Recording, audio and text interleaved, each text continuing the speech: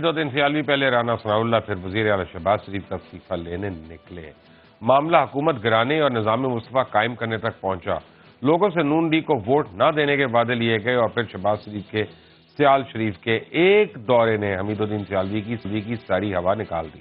رانا ثناء اللہ وزیر اعلی ہاؤس میں ایک یعنی فرضی کمیٹی کے سامنے پیش ہو کے، باقاعدہ میں کہہ رہا ہوں، فرضی کمیٹی کے سامنے پیش ہو کے پاک صاحب بھی ہو گئے، کمیٹی کے اراکین جن میں پیر حمید الدین سیالوی کے بھتیجے، نظام الدین سیالوی اور زعیم قادری بھی شامل تھے، رانا ثناء اللہ کے شانہ بشانہ بیٹھ گئے اور مطمئن بھی ہو گئے۔ تمام تاہم، حمید الدین سیالوی کے بیٹے قاسم سیالوی نے کہا کہ جو لوگ سیال شریف کے مسترد شدہ اجلاس میں گئے، ان کا درگاہ سے کوئی تعلق نہیں ہے۔ اور نظام الدین کہتے ہیں کہ درگاہ کسی فرد واحد کی ملکیت نہیں ہے کہ کوئی لا تعلق کرے۔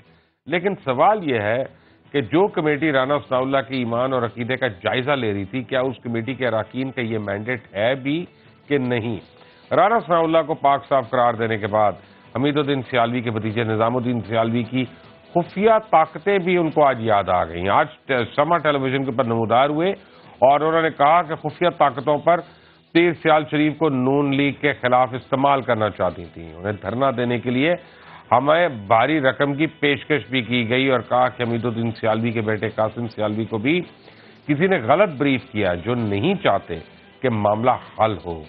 کسی نے غلط بریف کیا اور کس نے کیا؟ خود نظام الدین کو کون بریف کر رہا ہے؟ یہ کھوج لگانا ضروری ہے۔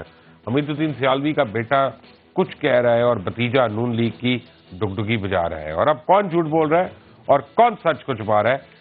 کس نے ڈیل کی اور کون ڈیل کر کے مکر گیا یا پھر سیال شریف کے ساتھ کوئی ہاتھ تو نہیں ہو گیا؟